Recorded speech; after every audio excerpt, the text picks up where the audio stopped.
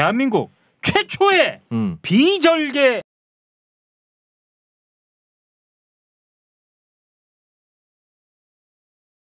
모발 이식 병원이라는 점입니다. 살을 째지 않는다. 비절개 모발 이식 과정 음. 이 어떻게 진행되는지 궁금하잖아요. 그렇죠. 이거 아무리 백날 저희가 설명해봐야 소용없습니다. 음. 가서 영상을 통해서 음. 직접 확인하시면 음. 아하 이렇게 되는구나. 음. 쟤왜 손을 들고 그래? 뭐 영상 있니? 영상 있어? 버퍼가 잠시 아, 걸렸다고? 아, 어. 아. 아 그러네. 난 이것도 내가 쓰는 저질 KT가 때문에 생긴 건 줄 알았더니 우리 버퍼였구나. 비절개에서 끊겼다네요. 비절개를 했는데 왜 절개가 돼버렸지? 지금 내 표정이 이러고 있거든. 이거 좀 빨리 좀, 진짜 빨리 좀 풀어줘. 빨리 좀. 야 이거 야 면태 같아. 빨리 좀 풀어줘. KT 좀 안 좋은 소리 했다고 벌써 이런 거야? 야 이씨. 야, 이 아까 양아치. 문자 오더니 그러니까. 야 이 이런 식으로 머리 예쁘다 야. 훨씬 낫네. 들었니? 어, 어 들었어. 내 머리한테 한 얘기구나. 어. 어. 아니 저기 뭐야 어제 야 그럼 지금 저기 우리 대가총 분들은 응. 내 계속 보고 이거 있는 계속 보고 있는 거. 그래 녹음은 일단 해놓고 나중에 인터넷 복귀되면 그거 그냥 영상으로 올려. 붙여서? 어. 붙여서 올릴 수 있어. 아 붙여서 올리는 건 안 될 거고 따, 따로 영상만. 어. 어. 자 모션 의원 하고 있었습니다. 비절개 모발 이식 오늘 모발 이식하고 내일 출근할 수 있는 모션 의원입니다. 2003년부터 네, 비절개로만 모발 이식을 해온 병원입니다. 2003년이면 살인의 추억이 개봉했을 어, 한국 영화의 르네상스. 거의 대한민국 음, 최고 선두주자라고 음, 예, 그렇게 평가를 받는 곳이고요. 강남역에 있는데 강남역에서 도보 2분 네, 그리고 신논현역에서는 걸어서 4분 거리면 도착할 수 있습니다. 네, 매번 강조하지만 음, 모션의원의 가장 큰 장점 오늘 이식해서 내일 바로 출근이 가능하다는 점입니다. 그렇습니다. 예, 이것만큼 큰 장점이 없습니다. 다음 날 바로 전지현처럼 엘라스틱 머리카락 찰랑찰랑하면서 그렇죠. 출근할 수 있다. 예. 다만 이제 뻘건 자국은 좀 있겠죠. 며칠 그렇습니다. 있으면 가라앉습니다. 아, 그리고 음, 가장 중요한 거는 일단 음, 상담 아니겠습니까? 그렇죠. 전화를 걸어서 걸으셔가지고요 음. 상담을 받아보시면 매우 친절하게 상담을 해드립니다. 02 533에 5882 오파 빨리. 5882로 전화를 걸어주시면 되고요. 음, 일단 앞서도 잠깐 언급을 해드렸습니다만 기본적으로 어떻게 하는지 궁금하다. 음. 유튜브에 아. 가보세요. 유튜브에서요. 음. 이모 저모 모션 TV. 음. 아 제가 볼때 그냥 뭐 너무 길어. 길어. 모션 길어. TV가 딴 거야 근데. 길다. 네. 모션 TV가 딴 게 있대. 어, 딴거 있어. 뭐 털션 TV나 이런 걸로 바꾸면 되잖아요. 네. 모션 그- 털 TV 뭐 네. 이렇게.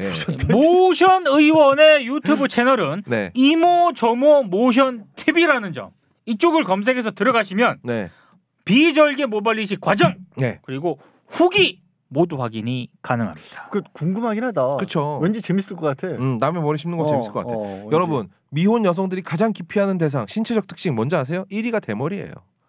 어쩔 수 없습니다. 받아들일 건 받아들여야죠.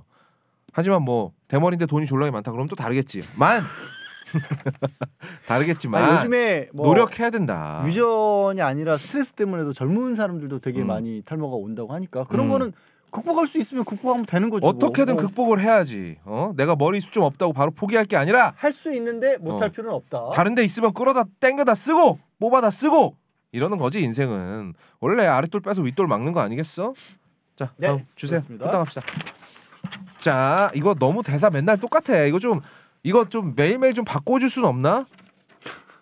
자, 자립 준비 청년 손자영 campaigner TV 대사 속에 이런 대사들 고아 is 쓰레기 부모를 못 만나서 저렇다 싹수가 없다 뭐 이런 대사 들을 때마다 심장이 덜컥 내려앉는다고 합니다. 손자영 campaigner가 미디어 속의 고아 캐릭터를 조사하고 분석해본 결과 이유도 없이 범죄를 저지르는 범인으로 나오거나 사람들의 편견 앞에서 모진 말을 들어야 하는 불쌍한 사람으로 그려지고 있다는 것을 발견했습니다. 근데 우리 사회가 진짜 그렇게 만들면 드라마보다 나을 게 없는 사회가 되겠죠.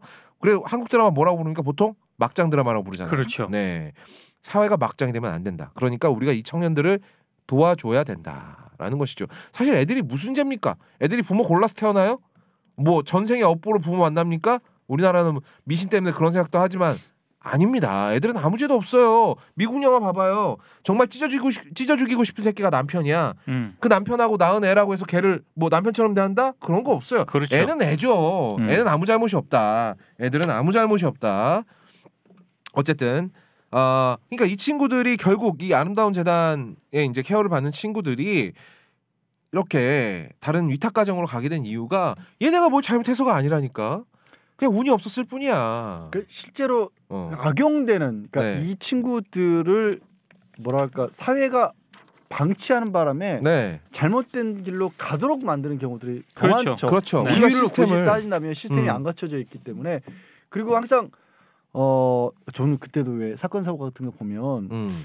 이 친구들이 희생당하는 게 이런 식인 거예요. 엄마 아빠가 너무 그리우니까 음. 도움을 주는 사람, 그러니까 이게 도움이 뭐 돈을 많이 준다 이런 게 아니라 관심 그냥 가져주는 사람. 따뜻하게 음. 관심 가져주는 사람들에게 가다 보면 엉뚱한데 끌려가 있는 그런 경우도 그렇죠. 있는 거예요. 그리고 음. 거기서 범죄를 저지른 것도 이 사람들밖에 받아주는 데가 음. 없으니까 가치가 그렇지. 있고 이런 맞아요. 경우도. 있거든요. 음. 오갈 데가 없으니까 그런 경우들이 많이 생긴다는 거죠.